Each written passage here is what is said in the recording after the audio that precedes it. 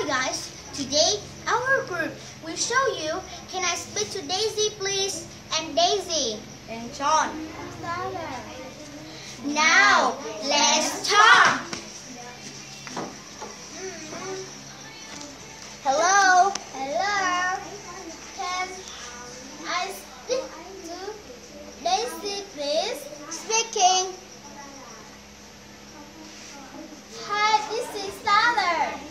Sarah, what's up?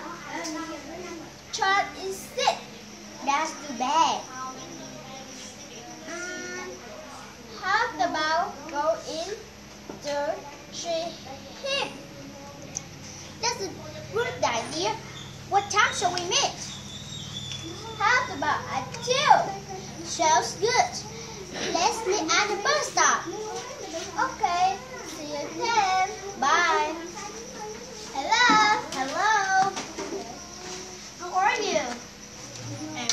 Now.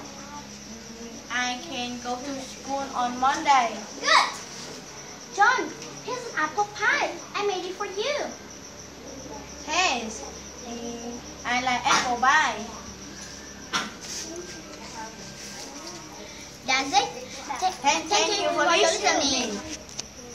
Goodbye.